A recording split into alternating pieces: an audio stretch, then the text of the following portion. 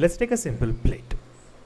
It's not remarkable, but it will help us understand something profound. When making mesh, we are interested in dividing the domain into smaller parts, we call them cells. The faces that encapsulate the domain are often referred to as patches or boundaries. Oftentimes, we are interested in making the mesh denser to better capture the changes in properties. We call this refinement of cells. Take this case for instance.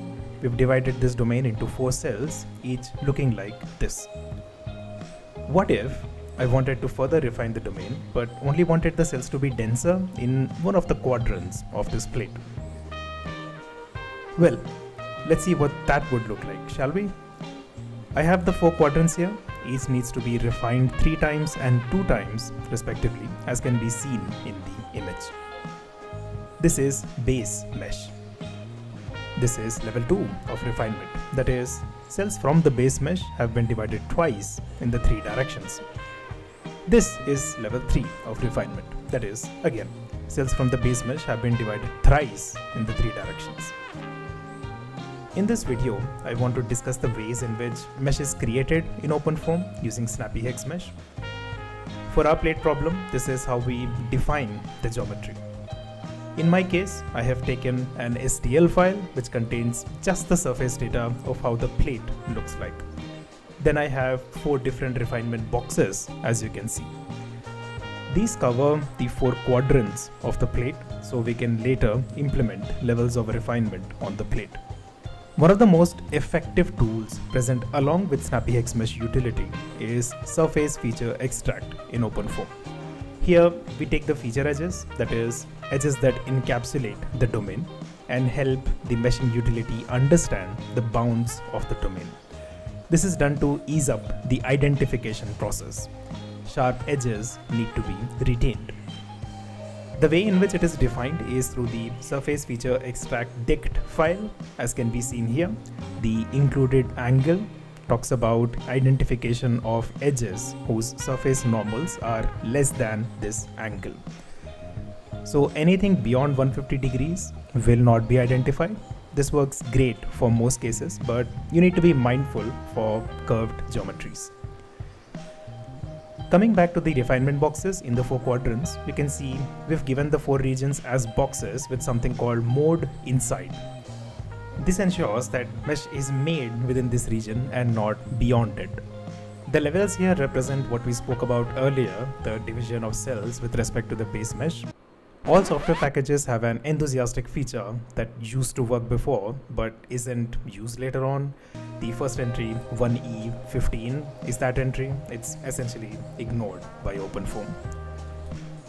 Coming to entries in snapping, we have some crucial entries here, namely the feature snapping and implicit feature snap. Both play a vital role in retaining the shape of the geometry and ensuring that mesh doesn't distort.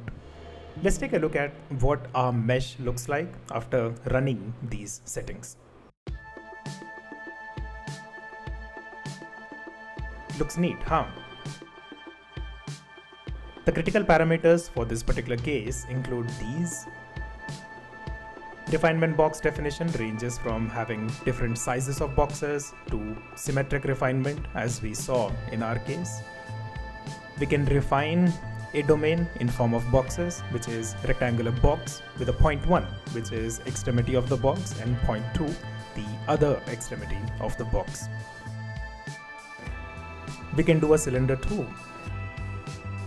this works great for peculiar cases where you want structured mesh, especially cases like the IC engine near the valves.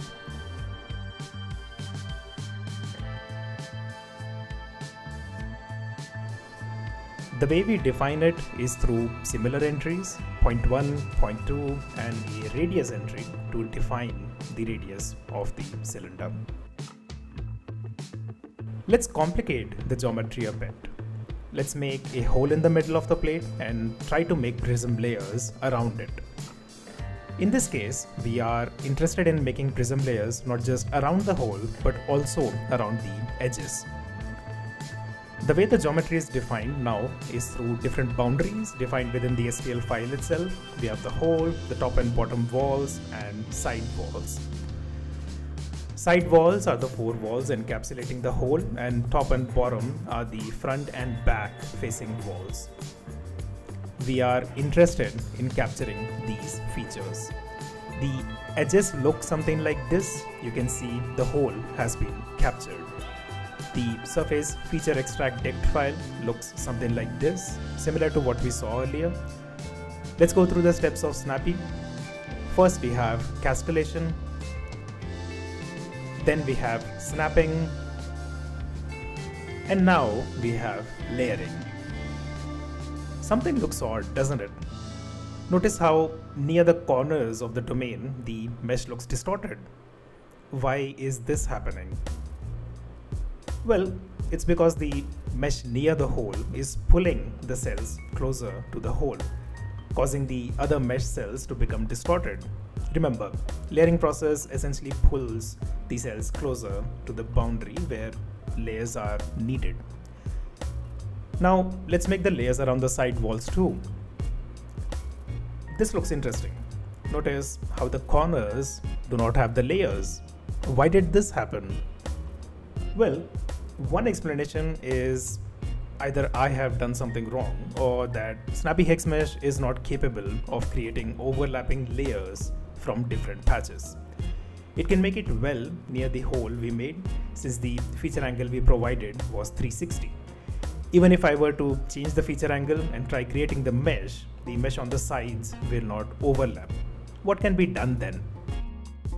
This is where CF Mesh comes in.